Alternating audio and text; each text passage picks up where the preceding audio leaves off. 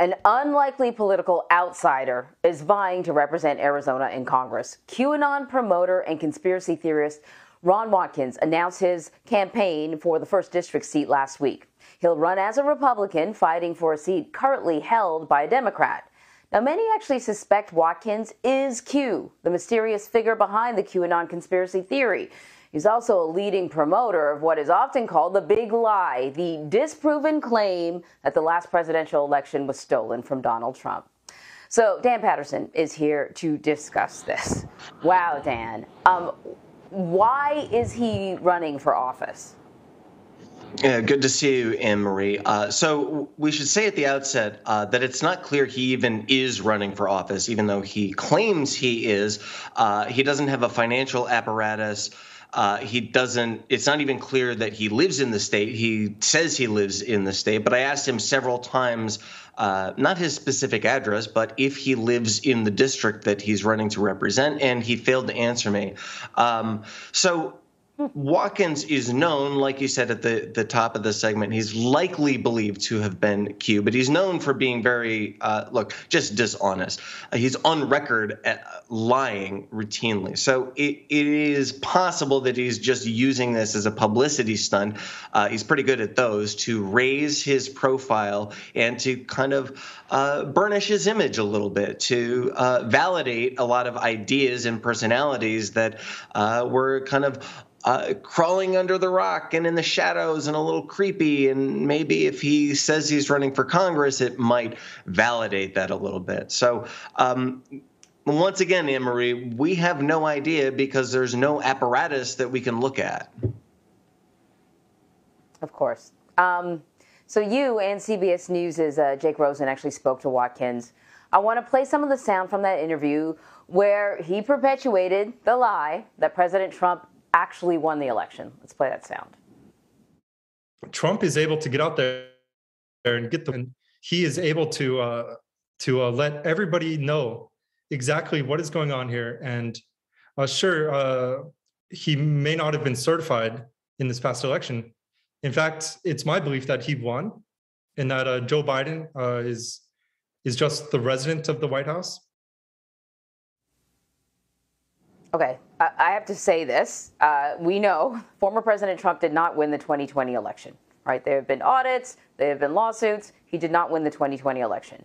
Um, I'm kind of, so this is clearly a false statement, but sometimes I, I am of two minds when it comes to covering this sort of stuff because there's a little yeah. bit of concern that, you know, you put a microphone in front of this guy and he can say whatever he wants without any proof and it amplifies this message. I mean, is there a concern? And you sort of brought this up a little bit in your previous answer that with him running for office, it's going to give him a platform, a spotlight, a camera, a microphone, and an opportunity to amplify this message.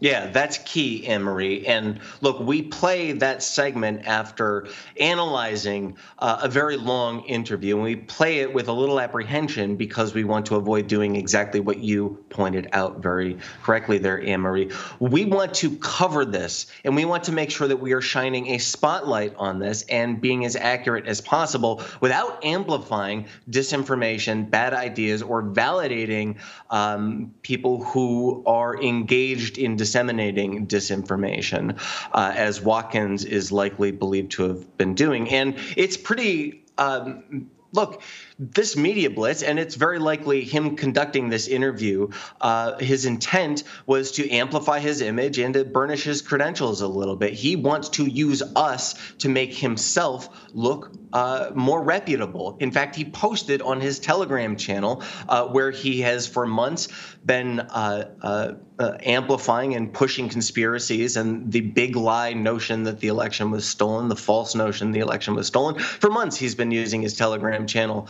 uh, to push that information. And he, in fact, uh, talked about this very interview on his Telegram channel over the weekend. So, once again, Anne Marie, I think you're exactly right. He is trying to use this interview and his media blitz because he did uh, a number of interviews with other organizations, although none on camera, last week, uh, to make himself seem more credible.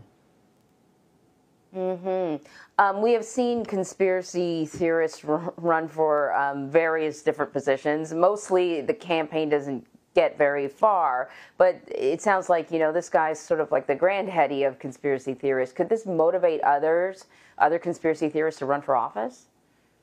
Yeah, in fact, that that is likely um, a, another uh, motivation for him running for office.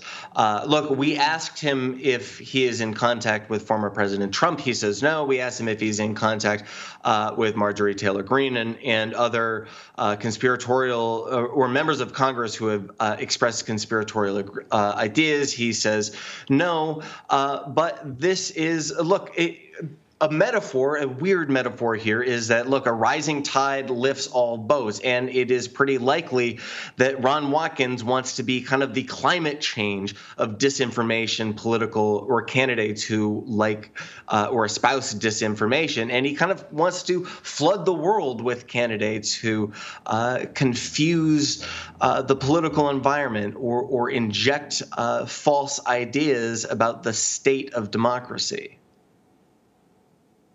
Um, before I let you go, how is uh, Arizona's Republican Party responding to this? Have they said anything at all? Uh, yeah, the the party, uh, the local party and the national party say they don't comment on um, uh, particular candidates, or at least this far out from elections. But we will continue to ask uh, the GOP uh, and Watkins hard questions through the course of the campaign.